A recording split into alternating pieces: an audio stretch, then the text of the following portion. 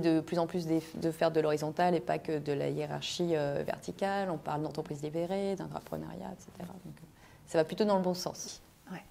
Donc on a parlé de l'intuition comme une forme d'intelligence. il y en a d'autres dans ce que vous avez pu découvrir, voir ou que vous voulez partager? Euh, euh, c'est vrai que nous, on aime beaucoup parler de l'intelligence euh, intuitive, l'intelligence émotionnelle, mais couplée aussi aux autres intelligences plus classiques comme l'intelligence logico-mathématique.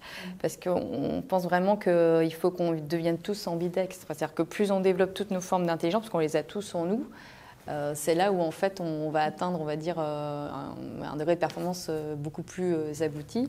Et peut-être aussi en termes de personnalité, voilà, on, va vraiment jusqu'au bout de notre, de notre potentiel. Et c'est ce qui crée aussi notre humanité face à l'intelligence artificielle qui commence vraiment à bien se développer dans nos sociétés et dans les entreprises. Et, qui est finalement une chance parce que ça nous montre en fait justement le potentiel de l'intelligence humaine, qui est beaucoup plus riche que cette euh, intelligence euh, de la machine. Oui, c'est l'intelligence interpersonnelle, intrapersonnelle euh, qui permet justement de développer une intelligence spirituelle et ah une, intelligence qui permet en fait de une introspection et, et un, développement personnel qui permet donc d'aller vers ce qui correspond à ce pourquoi on est fait. Et, et ça, cette intelligence-là, elle, se développe actuellement dans ce nouveau modèle. Et, euh, puis, euh, c'est ce qui effectivement nous différencie de l'intelligence euh, artificielle, qui est c'est l'intelligence introspective qui permet de, de, faire évoluer l'humanité.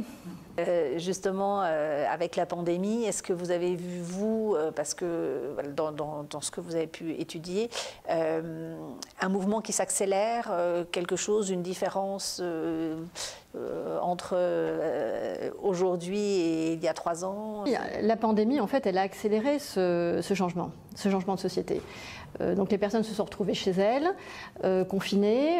il y a eu donc une période d'introspection alors qu'elles étaient vraiment dans l'extériorité jusque-là. Il y a eu ces, nouveaux modèles qui ont émergé donc, de télétravail. Euh, qui justement euh, bah, s'inscrit un petit peu dans, euh, un modèle beaucoup plus flexible, où justement on peut travailler avec plus de liberté et on, est en dehors d'un carcan.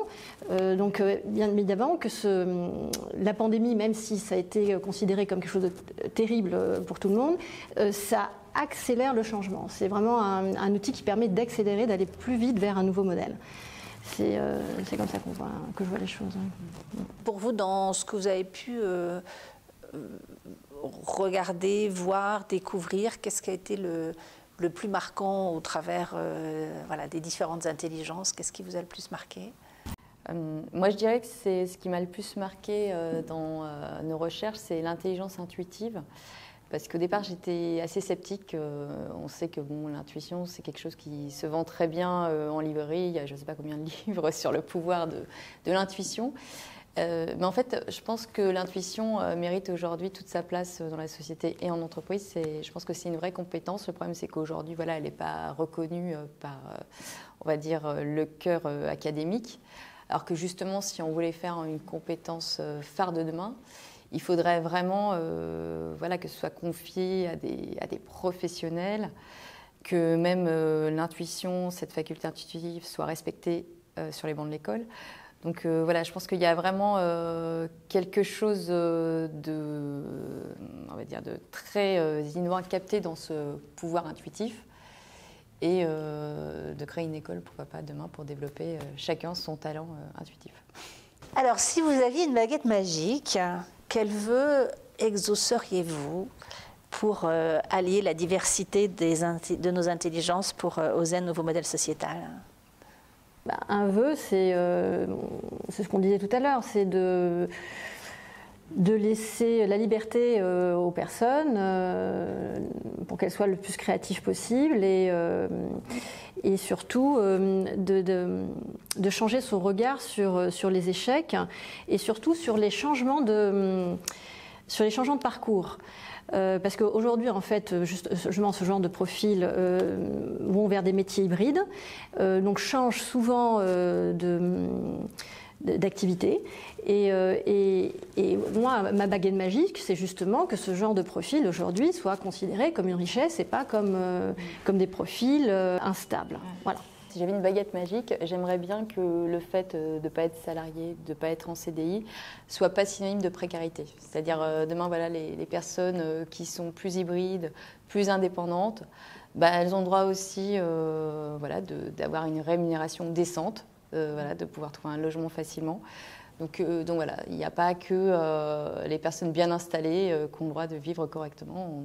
tous les profils devraient pouvoir en fait trouver leur place dans notre société. Merci beaucoup pour ces moments de partage, votre enthousiasme, votre sincérité et puis, votre, bonne humeur naturelle. C'était passionnant. on va se retrouver donc les 14 et 15 octobre à Rennes, au couvent des Jacobins pour euh, allier la diversité de nos intelligences et pour oser un nouveau modèle sociétal. Merci Marjorie, merci Ferial, et puis à très vite. Merci Isabelle.